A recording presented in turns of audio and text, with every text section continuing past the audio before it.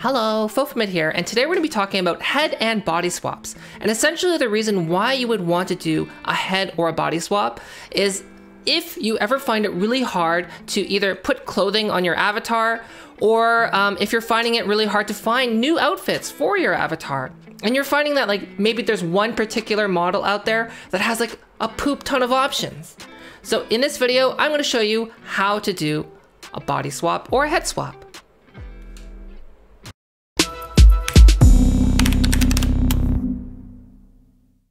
This video has been brought to you by Private Internet Access for fast, reliable internet browsing that allows you to appear like you're from any country in the world.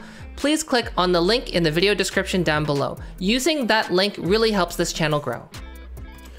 Okay, so once you have Blender open, what you're gonna do is go to your CATS plugin and go to import model, and then that's where you're gonna find the avatar that um, you're gonna be working with.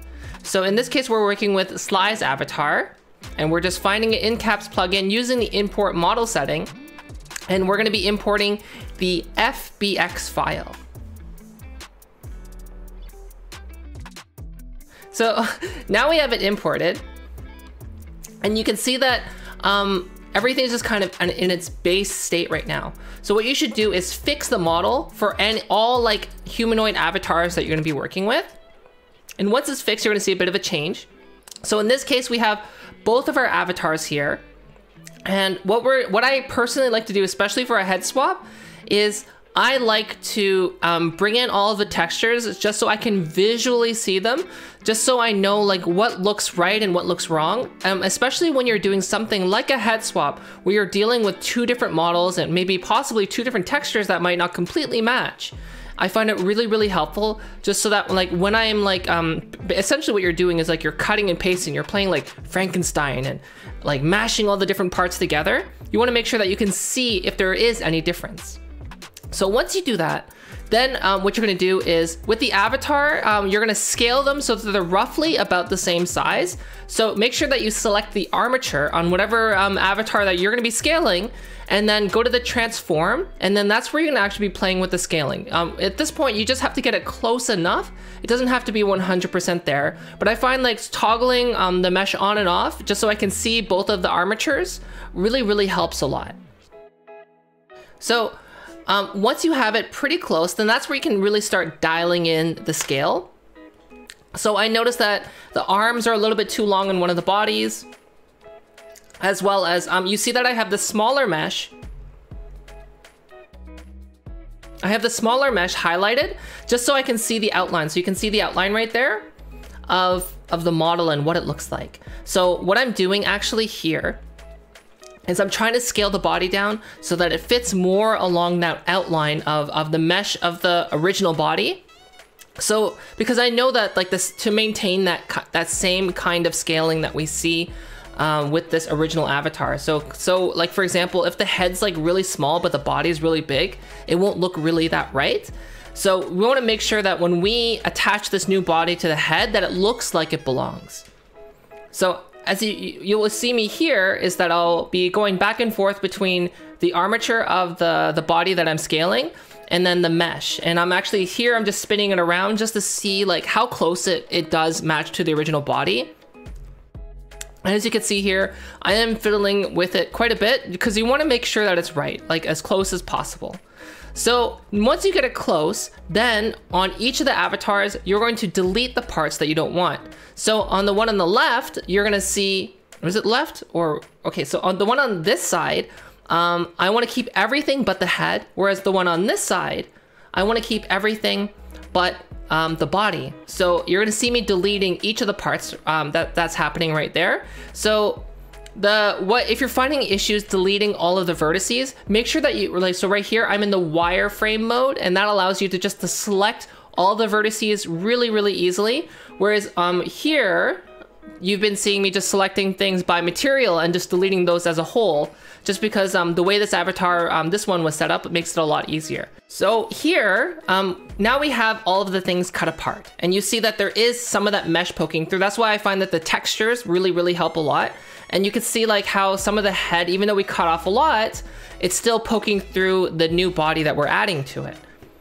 So then what I'm gonna do is like, there's a couple ways that we can approach this.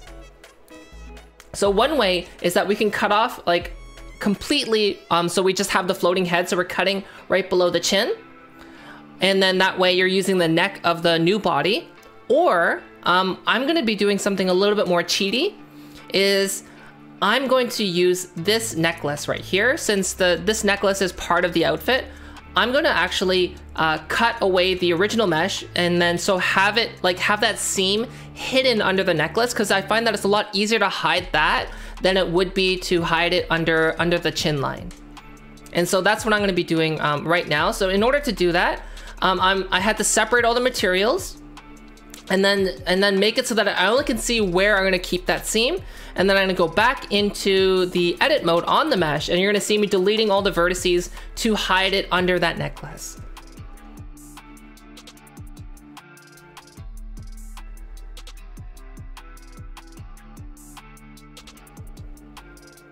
The only thing here is that you have to make sure that you're careful not to um, cut away too much.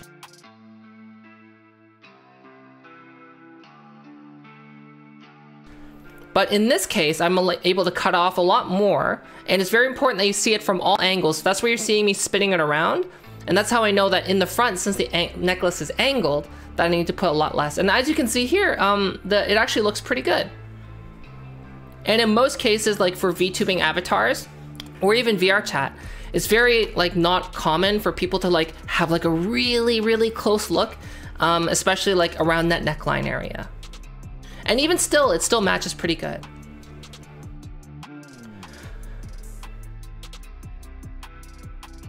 So the next thing I'm doing is um, the props or like the accessories for this avatar, I'm just gonna make sure that they match because I did change the, the head, but I wanted to keep the sunglasses. So here you can just, um, since it's just controlled by a mesh and not a bone, you can just move the mesh around just to get it to, to fit uh, where it should be on that avatar. And you can basically do the same thing with any of the meshes for, um,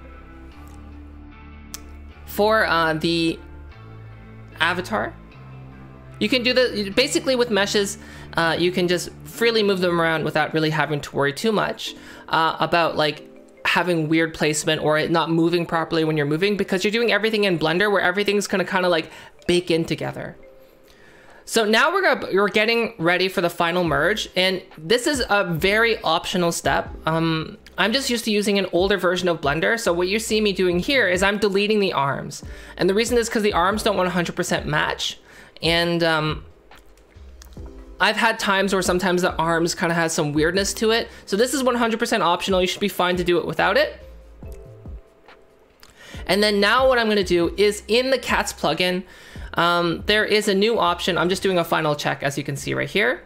Okay, so we're going to this part right here. Where is it? Right here. Custom model creation in, in CATS plugin. So when you go to the CATS plugin, there's a drop down menu. And then in that drop down menu, you're gonna see something called custom model creation. So what's really important here is um, I find the thing that messes up the most um, when you're merging two avatars together is the fingers. So basically whatever has the fingers, th this is from my experience from older versions of CATS plugin and Blender, is make that the parent and then we're merging the armature with the head onto the one basically with the with the little fingies.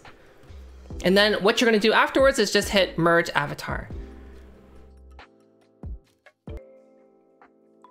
And now everything's merged. So this is the final result. Everything should be okay at this point, and you can see that everything is now like seamlessly merged as one single avatar, and it should have gotten also when you do the merge, it should get rid of any excess bones that you don't need. If you need to um, make like double check and fix that, then you just go to fix model and that should get rid of any excess bones. You see here, there is one thing that I do need to touch up is the tail, since the tail's kind of poking through the jacket.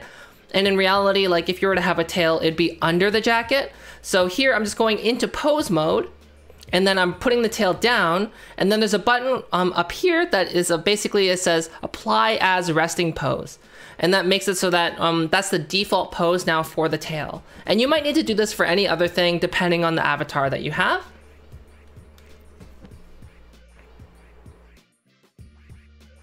Now everything is applied as the resting pose. And then essentially now you're ready to save. So um, I'm just gonna save this blend file. So I really recommend saving the blend file rather than going in and exporting the FBX and leaving it at that. Because when you're working with the original blend file, it makes it a lot easier if you wanna be able to change and modify things in the future. And then you can always just export the new FBX or the model file in the future. Thanks for watching the video and I hope you found it helpful. If you have any questions, please leave it in the comments down below. Also, I stream on Twitch and if you want to pop in and talk about avatar stuff or anything in general, just uh, come and check me out on Twitch. Bye everyone!